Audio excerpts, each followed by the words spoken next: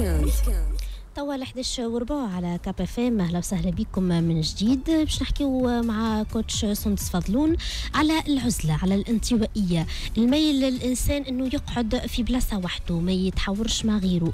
آه ينطبق هذا على المراحل العمرية مختلفة. مش مرتبط بالصغار اكهو وإلا بالكبار اكهو أكيد عنده أسباب وعنده أعراض كما عنده حلول. آه مدام سندس صباح النور. صباح الخير الناس الكل وصباح الخير السادة المستمعين الكل متابعي كبافام أهلا بيك. باهي آه العزلة الانطوائيه شنو الأسباب نتاعها؟ بي إحنا اليوم باش نحاولوا نفسروا شنو هي الشخصية الانطوائية اللي هي كما قلت يعني تنجم تكون عند الصغار والكبار يعني ماهيش حكر على الصغير وحده ولا على الكبير وحده. باش نحاولوا نشوفوا الأسباب كيفاش نتخلصوا من سلبياتها. ينجموا زاد السادة المستمعين اليوم من خلال بعض الصفات اللي باش نعطيوهم لهم. ينجموا يفهموا إذا كان هما فيهم بعض الصفات هذه وإلا لا. لكن السؤال اللي يطرح نفسه لهنا هل الشخصية الانطوائية نجموا نعتبروها كظاهرة طبيعية تميز صاحبها وإلا خلل شخصيه آه دراسات نفسيه قاموا بها دونك علماء نفس اثبتت اللي عموما الشخصيه الانطوائيه هي شخصيه متوارثه من واحد من الوالدين يعني généralement الصغير ولا الانسان كي يكون عنده شخصيه انطوائيه باش تلقى généralement ابوه ولا امه عنده الميزه هذه يعني ونجموا زاده نضيفوا اللي الشخصيات الانطوائية في أغلب الأحيان هي ناس تعرضت لبرشا مواقف رفض في في طفولتها فألم الرفض اللي يتكون عندها يخليها تختار الانطواء كآلية دفاع على كيانهم. من صفات الشخصية الانطوائية اللي ديما تلوج على بيئة هادئة. آه، تتفادى التجمعات خاطر على عكس الشخصية المنفتحة هي باش تستمد طاقتها وتشحن آه، طاقتها من العزلة اللي باش تكون فيها ومن الوقت اللي باش تقعد فيه وحدها. دونك النوع هذا من الناس يفضل ديما مثال إنه يكتب على إنه يتكلم ولا يدخل في حوارات يتفادى المواجهة.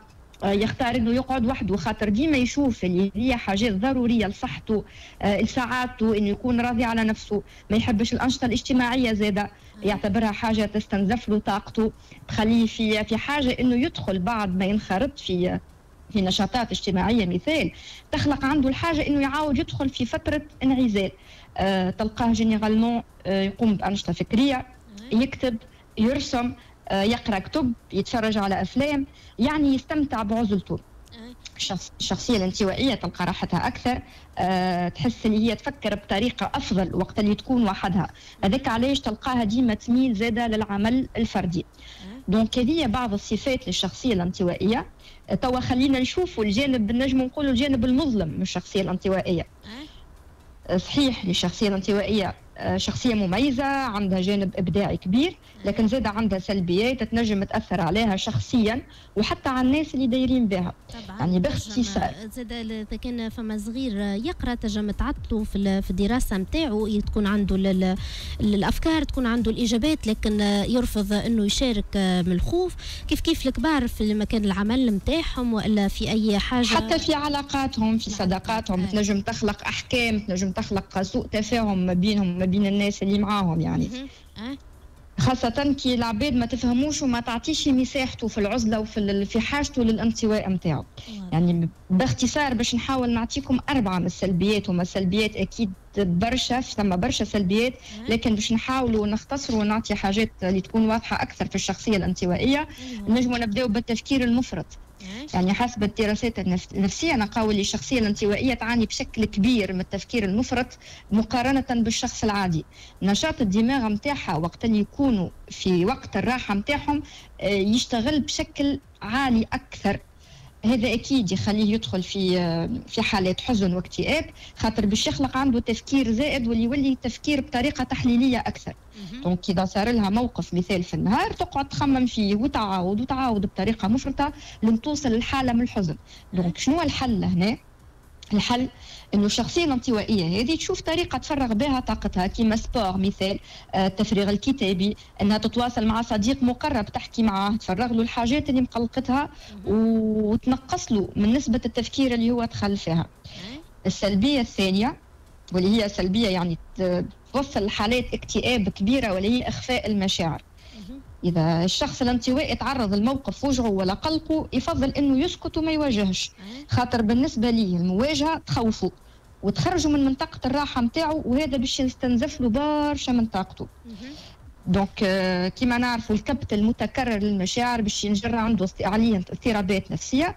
والحل هو يا إما يتعلم إنه يواجه ويطلع نوعا ما مشاعره ويخرج من منطقة الراحة متاعه وإلا نفس الشيء يشوف إنسان عنده ثقة فيه يحكي معاه يكتب المهم يحرر المشاعر متاعه ما يخليهاش مكبوتة.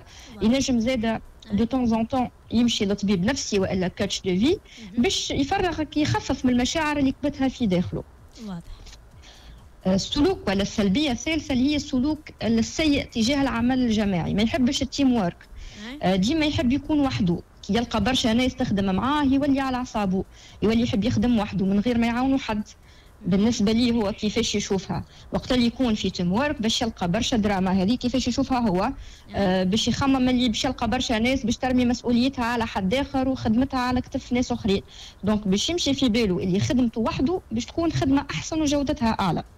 donc هو صحيح الشخص الانطوائي شخص مبدع راهو وعنده إصرار واستمرارية في إنجاز المهام لكن كي تكثر الخدمة عليه donc ما عادش ينجم يخدم شيء وحده. هذاك علاش؟ الحل إنه يحاول يعود نفسه إنه يكون في فريق يعاونه ويفهم اللي العمل الجماعي يعاونه إنه ينجز المهام بطريقة أسرع.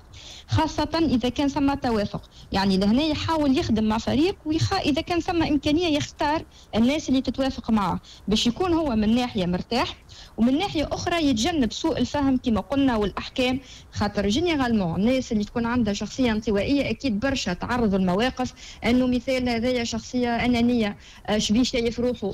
شبيه هو؟ شبيه ما يخدمش معانا؟ معناها شنو المشكل؟ فهمت؟ donc باش نتفاداو. السلبية الرابعة واللي باش نختموا بها donc اللي هي جلد الذات.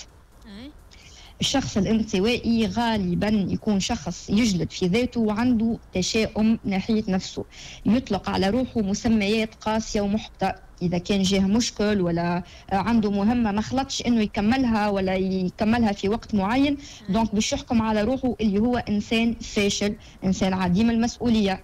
باش ينسى الإيجابيات نتاعو الكل وكل إنجازاته باش يركز كان في السلبيات اللي اللي صارت مؤخرا يعني فهمت؟ ما مش باش يركز على الإيجابيات اللي عنده الكل. الحل هنا إنه يحاول يركز في إيجابياته وإنجازاته مهما كانت صغيرة. ويخرج من نقد الذات المبالغ فيه. donc أنا حاولت نختصر شوية السلبيات خاطر كما قلنا الصفات والسلبيات برشا. لكن آه السلبيات الشخصية الانطوائية ما تجيش حتى شيء الحقيقة قدام الحاجات ال positives اللي عنده les points forts اللي عنده. وإحنا يا ريت نفهموا اللي الشخص الانطوائي ماهوش إنسان معقد بالعكس الانطوائي آه عنده برشا مميزات. عندهم جاذبية وكاريزما كبيرة عندهم قدرة إنهم يخلقوا متعة في حياتهم في كلامهم. حتى كان باش تلقى عندهم شوية صراحة أكثر من اللازم ما نعتبروش شخص يعني وقح. الله غالب ما يحبش برشا التجمعات ما يحبش برشا التفاعل البشري ينسحب عموما من بعض المواقف الاجتماعية. لكن هو ما يحتاجش شكون يصلح له شخصيته ويعالجه على قد ما هو مطالب إنه يخلق توازن في حياته ما بين الانطواء والانفتاح. واضح. شكرا ليك يا سندس. إذا كان عندك إضافة تفضل. شكرا لك donc شكرا على الدعوة وديما donc المواضيع كيما هكا ماذا بينا نتطرقوا لها خاصة مواضيع كيما هكا تخلينا نفهموا بعضنا. donc كنت تفكر بكري قلت لك الشخص الانطوائي تكون عنده شخصية دفاعية وآلية دفاعية على نفسه. يا ريتنا نعطيوه مساحة أكثر خاطر كما قلنا الإنسان الفرق ما بين الإنسان المنفتح والإنسان الانطوائي أو الإنسان المنفتح يستمد طاقته من التجمعات ومن وجوده في وسط الناس. لكن الإنسان الانطوائي يستمد طاقته. من عزلته فنخليو له وقته نعطيوه مساحته. ما نضغطوش عليه ونفهموه خاصة كما قلت لك ما نشوفوش كإنسان معقد ولا إنسان عنده خلل نفسي. لا هذيك طبيعته جوست هو محتاج إنه يخلق توازن فقط. واضح. شكرا لك يا سندس بالمثل شكرا على قبول الدعوة. شكرا لك على المعلومات. هذه الانطوائية هذه أسبابها هذه أعراضها والحلول اللي قدمتها لكم كوتش سندس فضلون. تنجموا ترجعوا الباج فيسبوك راديو كابا فام للي فاتته حاجة. نحن ترتيحة صغيرة بالموسيقى وراجعين.